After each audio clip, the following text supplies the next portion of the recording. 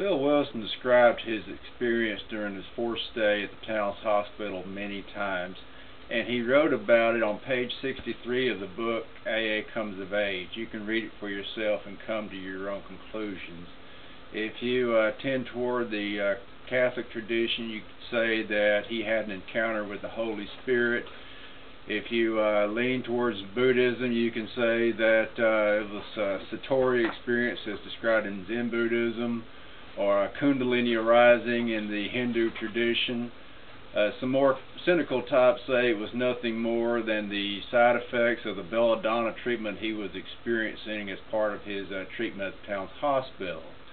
We don't know exactly what it was, several interpretations, but one thing is clear, something definitely did happen. And uh, Bill Wilson asked Dr. Silkworth, you know, am I truly going crazy? And Dr. Silkworth said, no, Bill, you're not. Said, I've read about these sort of things happening, and I can't really explain to you what it is or tell you what it is, but what I can tell you is, whatever it is, you better hold on to it because it's all you got.